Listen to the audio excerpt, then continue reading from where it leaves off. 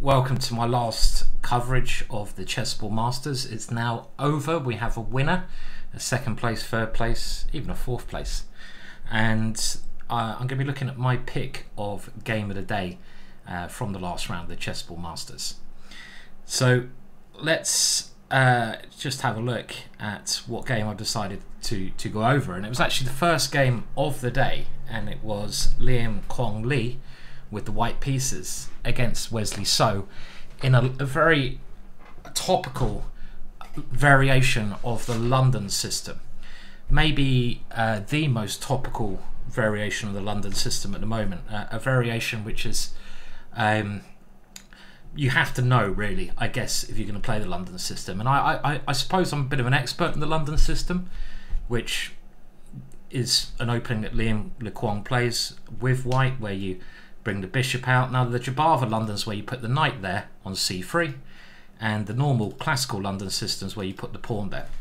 And the reason I say I'm a bit of an expert is, you know, I've done numerous DVDs on it for ChessBase um, and I've played it quite a lot and studied it a lot as well. So we're hoping actually to get a really good uh, Ginger GM course out on it soon. But first of all, I'm filming something else at the moment. Be with you soon. And uh, Wesley is incredibly strong in the opening, right? All these players are, but Wesley seems to be just really well prepared. He, he obviously spends a lot of time looking at chess. Uh, now, Liem plays knight to f3. This is one way to get into the London system. My preferred way of playing it is with bishop f4.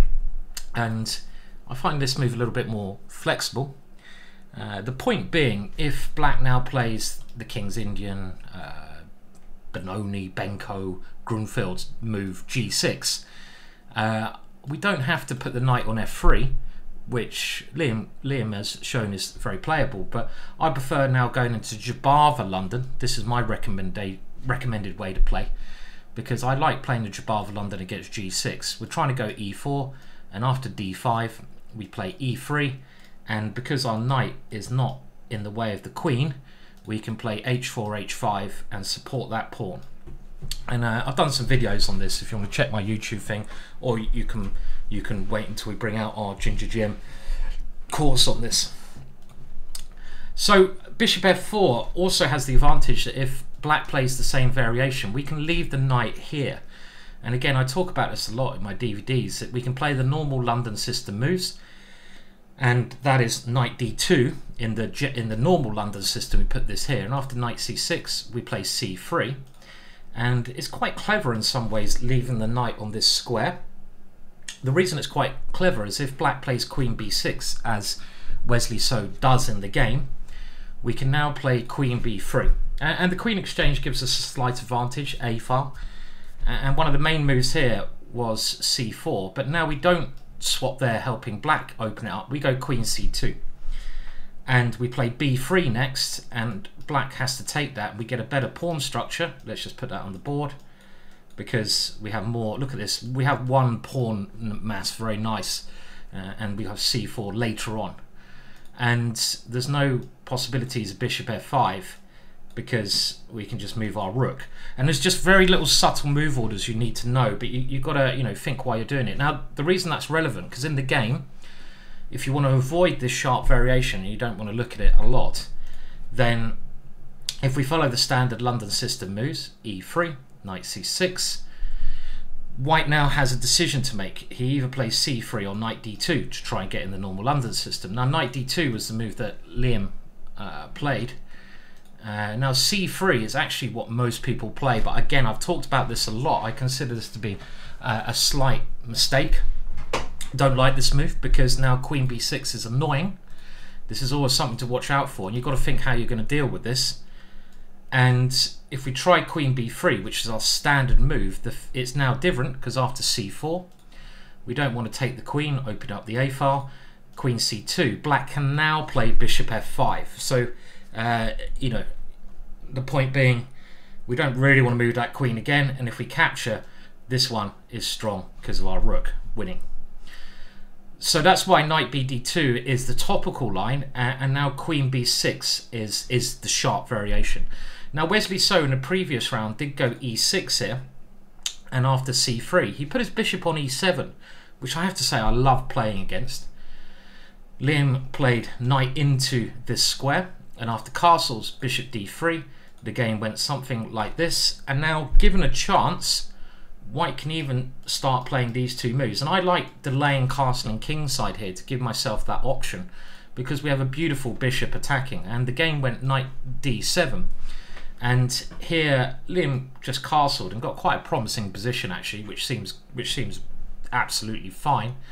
But there are some other interesting possibilities, like moving the knight to f3 immediately. And this is just supporting our guy there. And in some positions, we're threatening h4 on the Greek gift. So I'd be very happy to get this in a game. Nice attacking chances.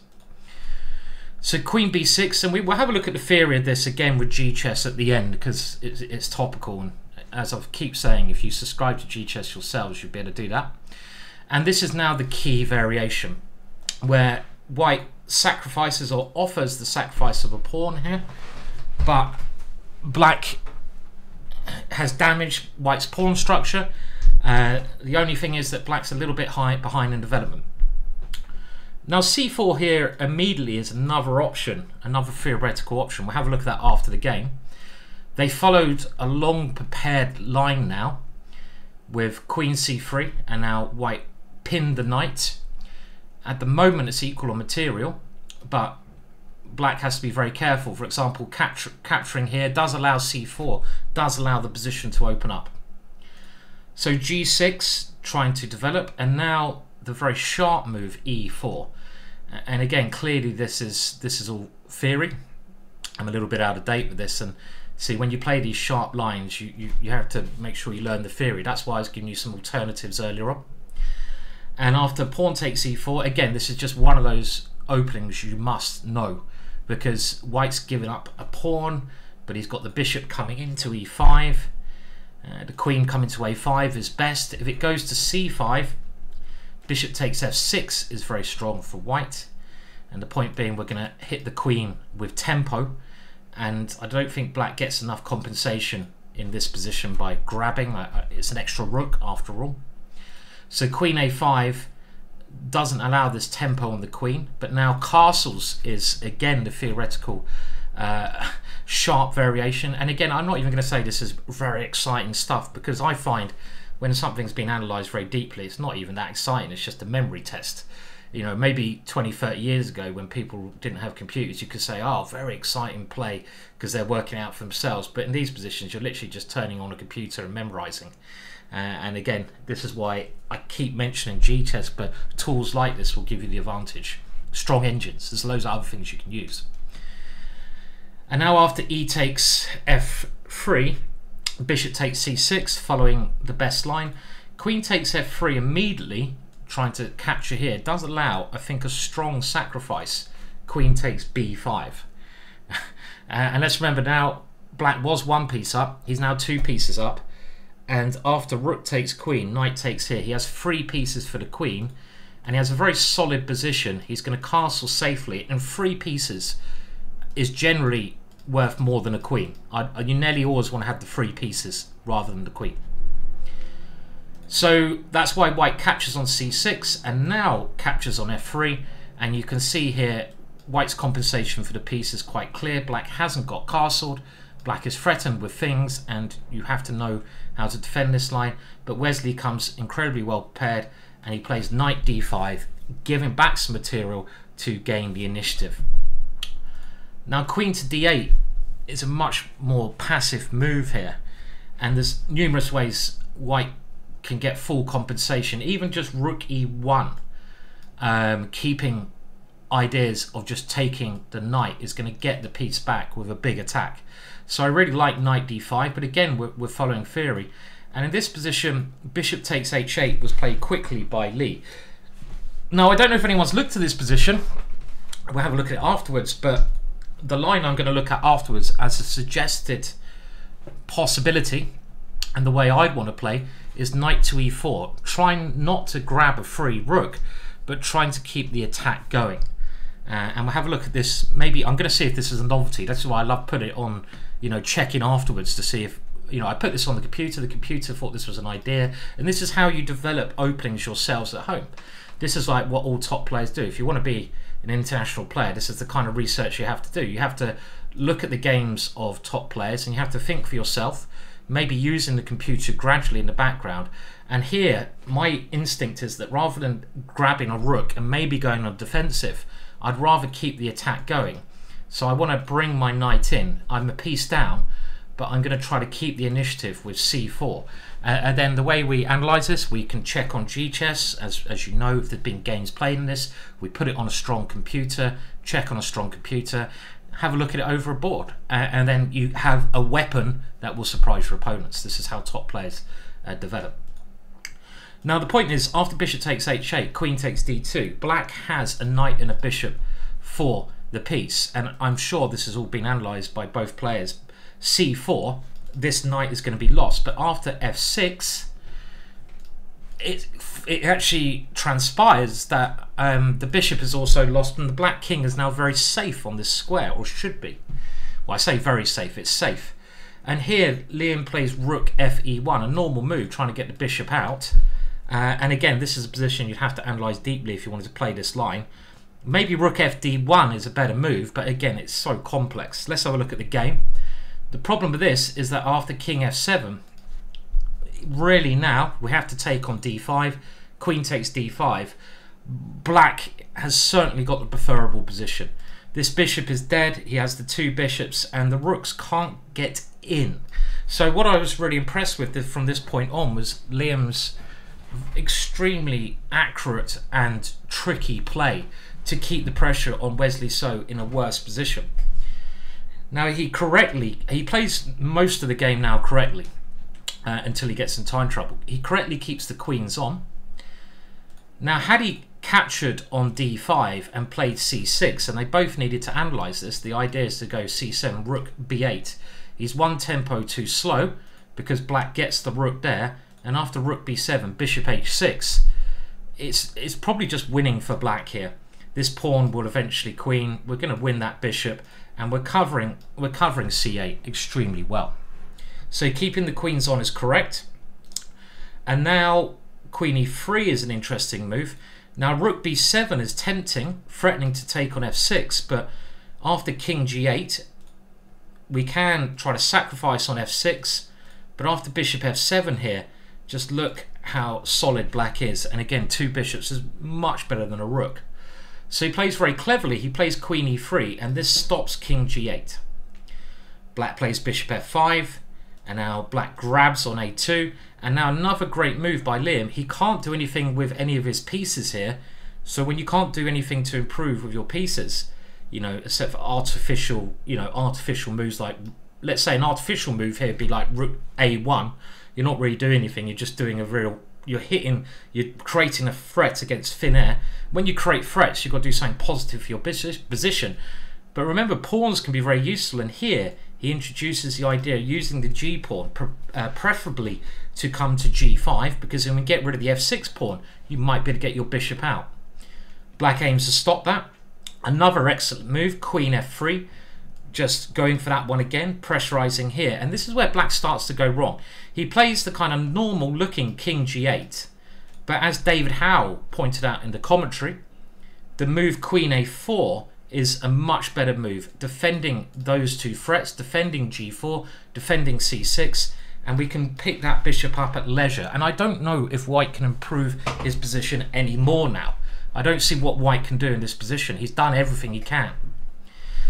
So king g8 allowed this counterplay with g4. And the point now is that it gets a little bit messy because the rook comes into d7.